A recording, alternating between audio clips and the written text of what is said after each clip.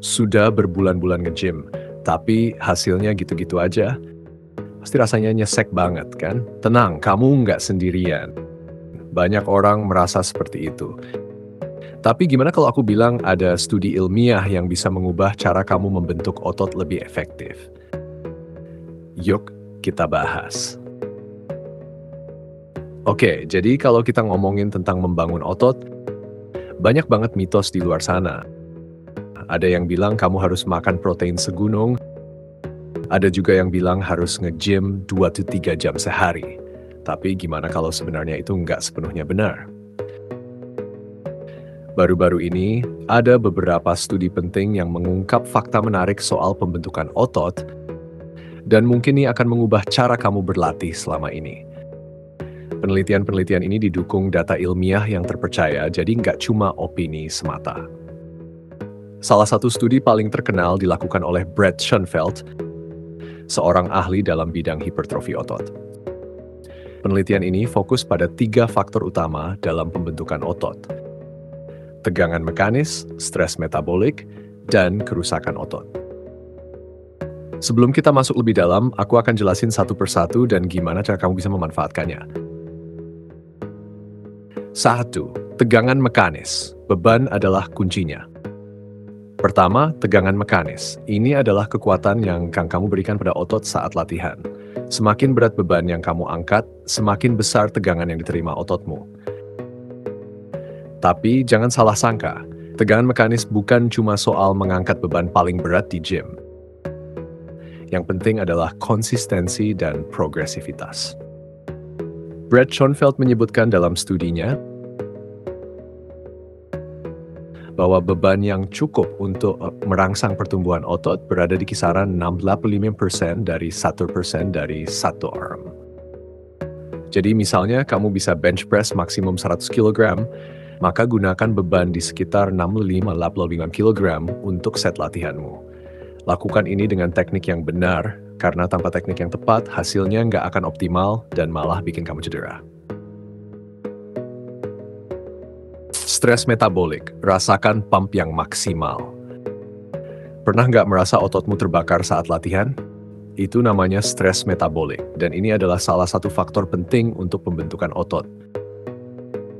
Stres metabolik terjadi ketika tubuh memproduksi asam laktat selama latihan yang merangsang respons anabolik. Cara terbaik untuk meningkatkan stres metabolik adalah dengan menggunakan metode set tinggi dengan repetisi lebih banyak.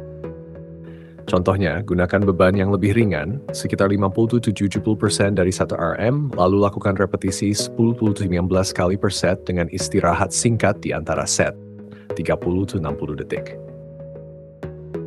Teknik seperti drop set atau supersets juga bisa membantu. Menurut studi lain oleh Walker Harhage dan rekan-rekan, stres metabolik meningkatkan akumulasi metabolit seperti laktat yang memicu sinyal pertumbuhan otot. Jadi jangan takut merasa ototmu terbakar, itu tanda baik. 3. Kerusakan otot, proses yang membuatmu lebih kuat.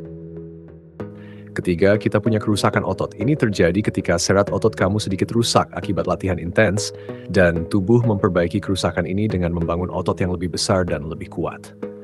Tapi ingat, kerusakan otot ini nggak boleh berlebihan. Uh, dalam sebuah penelitian oleh Flan dan Lasteyot Lasteyot, ditemukan bahwa latihan eksentrik, yaitu fase di mana kamu menurunkan beban secara perlahan, lebih efektif dalam merusak serat otot dibandingkan fase konsentris, mengangkat beban. Jadi, coba tambahkan fokus pada gerakan eksentrik di latihanmu.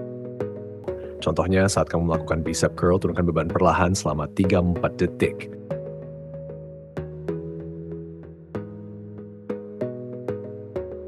Hubungkan semua faktor. Rencana latihan yang efektif. Oke, sekarang kamu udah tahu tiga faktor utama dalam pembentukan otot. Tapi gimana cara menggabungkannya dalam latihan harianmu? Berikut adalah contoh rencana latihan sederhana yang bisa kamu coba. Hari 1, latihan beban berat tegangan mekanis. Squat. Uh, four set an 6 repetisi, gunakan beban 70-40% RM. Uh, deadlift, uh, 4 set 5 repetisi. Bench press, 4 set 6 repetisi. Overhead press, 3 set 6 repetisi.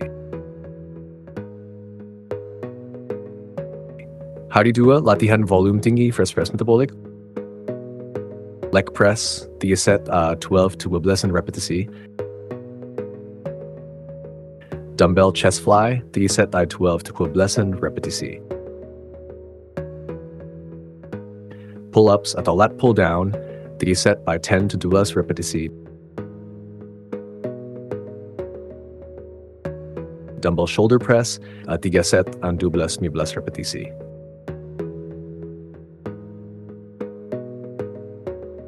Hari 3. Fokus eksentrik. Romanian deadlift, 3 set by 8 repetisi, turunkan beban selama 34 detik.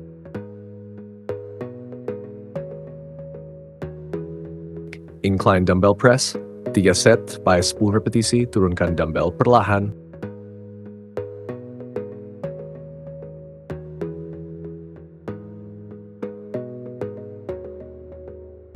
Barbell row, 3 set ay 8 repetisi.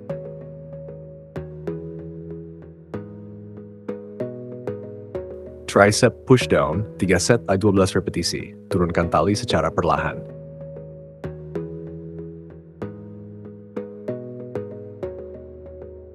Pastikan kamu juga mengambil 1-2 hari istirahat untuk pemulihan total, karena tanpa istirahat, tubuhmu nggak akan sempat memperbaiki kerusakan otot. Tips tambahan, pola makan dan istirahat. Latihan aja nggak cukup bro. Studi lain dari Tipton dan Wolf menunjukkan bahwa konsumsi protein berkualitas setelah latihan adalah kunci untuk membangun otot. Targetkan 1,2,2 gram protein per kilogram berat badan per hari. Dan pastikan kamu tidur minimal 7-8 jam setiap malam. Ingat, otot nggak tumbuh di gym, tapi saat kamu istirahat.